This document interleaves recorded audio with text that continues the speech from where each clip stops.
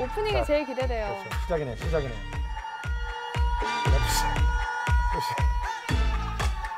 오늘도 외람된 문화생활을 위해 내가 간다. 돈 터치미. 아무도 안 만지려고 하는 것 같은데. 지금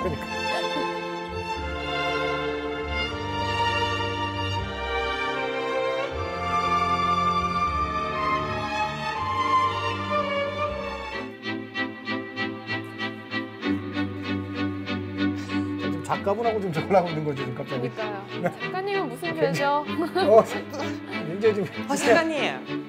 아, 진짜 이게 무슨 일이에요, 진짜. 너무 고급스러운 이 놀이개와 진짜 사실은 여자들은 사실 이 옷반지 하나 주면 사실 마음 다 열리거든요. 오자경 작가님, 제가 오늘 오프닝 그 춤으로 작가님의 어떤 작품들을 좀 오픈해봤는데 어떠셨어요? 이런 인터뷰 처음이라서 재밌는 것 같아요. 너무 형식적이더라고요. 굉장히 가식적으로 잘해주신다.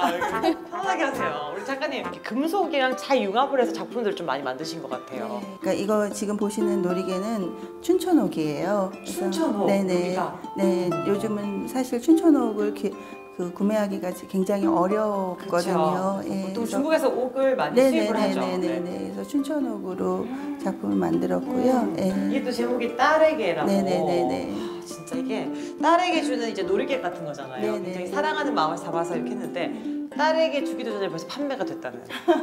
취향 저격이죠. 작가님 보니까 작품들 보니까 취저예요, 취저. 이번에 오자경 작가님 금속공예죠. 네. 이번에도 테마도 새로운 시작이네요. 네네. 이런 것도 어떤 의미로 또 시작을 하셨을까요? 어, 제가 기존의 작업은 금속을 이용한 생활 소품만 제작을 했었는데 네. 이번 어, 새로운 시작은 570회를 금속에 접목을 시켰어요. 금속의 그런 그 금속 가지고 있는 물성이 차갑고 단단 해요. 네, 맞아요. 그래서 네, 그래서 좀 따뜻한 금속이라는 이미지로 관객들에게 접할 수 있도록 제가 색을 넣으면 어떨까 옛날부터 많은 고민을 했었어요. 그래서 오칠이라는 그 전통 공예 기법을 이용해서 금속하고 오칠 같이 매치시켜서 작업을 했습니다. 요거를 하시면서 어떤 금속의 매력, 아, 금속 공의 매력이 있다면? 저는 오히려 이 금속이 가지고 있는 그런 어, 단단한 성질 그런 게 이제 사실 가공하기가 굉장히 힘들어요. 그러니까 열을 줘서 그 개를 내가 원하는 형태로 만들어가는 과정이 조금은 힘들긴 하지만 저는 그런 데 굉장히 매력을 느낀다고 생각을 해요.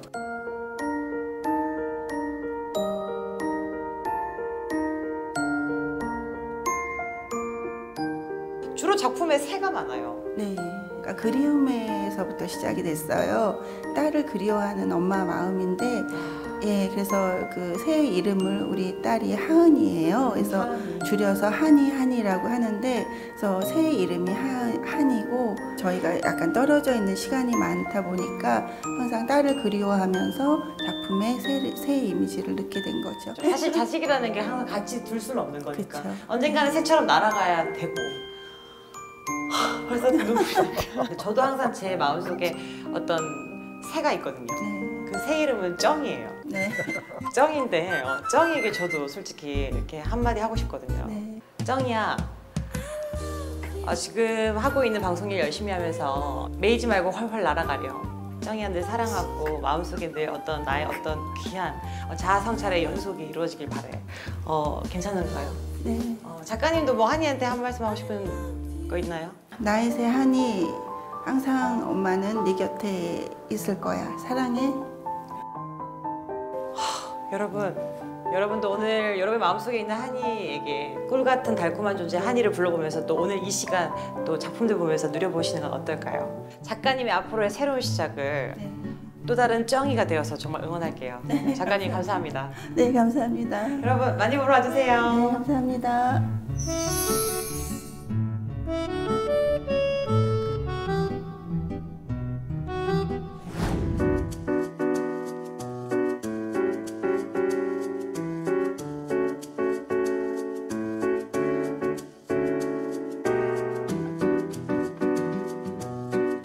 김품창 작가님 안녕하세요. 네, 안녕하세요. 와 성함부터가 일단은 작품을 위해 태어난 남자 같아요. 아, 그래요. 어, 제가 이름으로 삼행시 한번 선물 드릴게요. 삼행시. 김. 갑자기 김품창 작가님 네. 품. 품에 쏙 들어갈 제주의 많은 작품들을 남기셨더라고요. 창. 창조력도 최고예요. 이번 작품 진짜 꼭 많이 전시 보러 와주세요. 외웠어요 혹시? 아니 딱 뵀는데 바로 딱 영감 받아서 바로 딱 했죠. 이번 전시가 이제 제주에 오신 지 20여 년 만에 여는 어떤 스페셜한 전시회라고 들었어요. 이번 전시는 이제 그 제가 제주도에 2001년도에 이제 입도했는데 네. 그때 이제 초창기에 그 풍경이 좋아서 이제 풍경을 쭉 그렸어요. 바다와 네. 폭풍과 뭐 제주도 자연을 쭉 그렸는데 그 이후에 이제 20년 동안의 작품의 변화 과정이 있겠네요. 예 진짜 처음에 오면은 딱 그 자연 자체가 오는 너무 아름다움이 있고 네. 그래서 계속 거기 빠져서 그리다가 그 다음에는 조금 이번에 좀 스페셜하게 들어간 게 있다면 좀 신화적인 네. 여기 조금 대표적인 작품들 소개해 주실 만한 거 있을까요? 아 이거요. 야 이거 근데 사실 나 크리스마스 카드에 나왔으면 좋았을 것 같은 그런 느낌이에요. 눈 오는 느낌도 나고 네. 설화 느낌도 나고 네. 이번에 이제 메인 작품이거든요. 이제 야. 처음으로 이제 선보이는 작품인데 이 작품은 제주 설문터 할망 이야기인데 할망이 이제 할망 그리면 좀 이제 이쁘지 않으니까 네. 할망이 좀 젊었을 때. 어, 그 신혼 때. 근데 사실은 이 작품 하나 나오면은 어, 작가들한테 이거 몇 시간 만에 그렸냐, 아니면 뭐 몇 달 만에 그렸냐 이렇게 하는데 제가 지금까지 20년 동안 그림 그려오면서 어, 지금 20년 만에 나온 그림이 이 그림이에요. 근데 그 과정이 없으면 이 그림이 나오지 않거든요. 그래서 훌륭한 표현이. 예, 그 과정이 있기 때문에 이 그림이 나오고 다시 또 10년이 흐르면은 또 이 그림한 또 다른 그림 또 나오겠죠.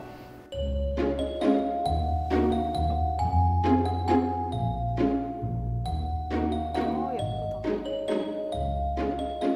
돌고래가 이렇게 자연 속에 같이 오버랩돼서 많이 표현을 하셨어요. 예, 예. 그 생명체들을 많이 만나면서 친구가 되면서 야 같이 여기 제주도가 사람과 자연과 생명체들이 같이 어울려 사는 공간이라는 걸 제가 느끼고 대박. 같이 이제 막 어울려 사는 거예요. 음. 그 고래가 바다에 있어야 되는데 얘들이 수골로 와서 숲속으로 가고 그러니까 이런 거 네. 보니까 숲에 지금 그려져 있어요. 네, 그 숲속에 사는 그 생명체들이 다시 바닷속으로 들어가고 그래서 이제 이 공간이 사실은 제주도가 환상의 공간 그 어울림의 공간에서 동화적인 환상이 있는 그런 공간이 아닌가 해가지고 그래서 이제 그때 다 짬뽕이 된 거죠 그리고 이제 다 눈을 다 그려놓거든요 그거를 작품들마다 눈이 다 네. 있다는 거죠. 2014년도에 이제 우리가 제가 사는 마을에 나무가 잘려지는 걸 보고 음. 야 사람 같으면 다 도- 전기톱 들면 다 도망가는데 충격을 너무 많이 받아가지고 그럼 작가로서는 뭘 해야 되지라고 생각하니까 나무에 눈을 그려넣기 시작한 거죠. 왜 그들도 살아있다는 것을 이야기하고 싶은 거죠. 그래서 그 다음에는 이제 어, 돌에도 나무에도 뭐 숲속에도 다 눈을 그려 넣기 시작한 거죠.